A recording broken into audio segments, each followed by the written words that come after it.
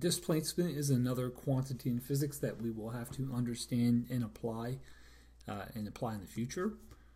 The concept of displacement is refers to the change in your position. So when your position changes, you could be displaced.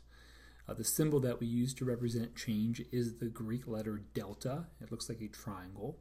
So a change in x or a delta x means the change in your x location or the change in your position. Again, we have a frame of reference that we use to keep track of our location in space. Just to restate, this is the x-axis. So this is the origin, 0, and these are the y-axis. So if I start here on the origin and go up, I have a positive y displacement. If I go down, I have a displacement and then that's negative in the y-axis. If I go this direction, I have a positive x displacement.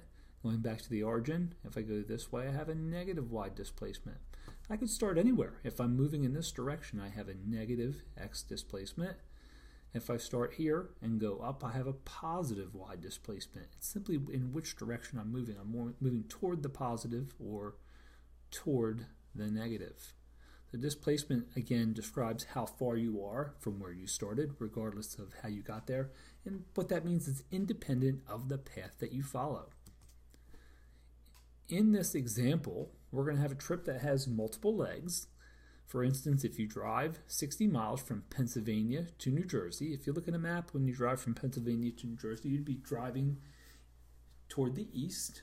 You would start off at your starting location, the origin and we move to the east, which in this case is the positive x-axis. After driving 60 miles, we'd be at that location. This trip has another leg, or another segment. In the second segment, you would start to drive back toward Pennsylvania, so you'd be driving to the west.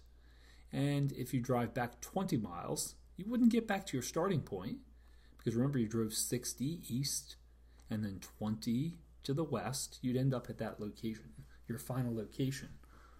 Is there a change in position from your starting location to your final location? Yeah, the answer is yes. And that change in location can be described using this purple arrow, and that displacement is toward the east. And if we keep track, you would move one, two, three, four ticks. Each tick is 10 miles, 40 miles to the east. To calculate the displacement, you take the final location minus the initial location, and it will give you the displacement. Let's show the computation for this. And I'll write on the board here, my starting location was 0 miles. My final location was 40 miles. So I have x naught, that's my starting location. That subscript means the initial condition. xf is my final condition. If we apply this, my displacement is equal to my final location, the 40 mile mark, minus 0, the initial mile mark.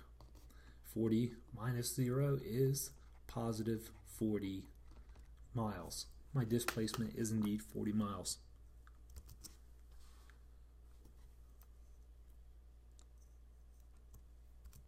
Distance and displacement are similar in that they're both measured in meters, but they're different in that distance can only be positive values, magnitudes, because it's impossible to have a negative distance. Imagine trying to measure a negative length with a meter stick. You're not going to get very far. It just seems very unusual. Displacement is not only how far, but it's in which direction. If we look at this slide, displacement can be positive or negative because you end up to the right or the left of where you started. As we stated previously, if you start off at one location and then end up in another location to the right, your displacement is positive. If you start off with an initial position here and then you move to the left, your displacement is negative. So displacement, again, is how far you move and in which direction. It can be positive or negative. Displacement can occur in the x-axis. It could also occur in the y-axis. At this point in And the has a course, we've defined several now, we'll the quantities: uh, time, distance, displacement, and speed. Uh, and uh, some of these uh, have a, a direction that's indicated with a sign. And what we're going to do is to define what a vector is and what a scalar is. A scalar is a quantity that only has a magnitude, how large, a numeric value, but does not have a sign. A vector has both a magnitude and a direction, and usually we use a sign, positive or negative, at this point to indicate their direction. So let's do time. Does time have a direction? Would we say positive or can we have negative time? That in our dreams. Time is a scalar. So we'll mark that. Distance is how far, but it, doesn't indicate which direction. As we stated with the meter stick, you can't have a negative distance, so that is a scalar. Displacement, as we defined, is how far and in which direction. Displacement can be positive or negative, so that is a vector. And then finally, speed is distance divided by time. Distance is a scalar, time is a scalar, speed is simply how fast. It does not indicate which direction, so it's not a vector, it is a scalar.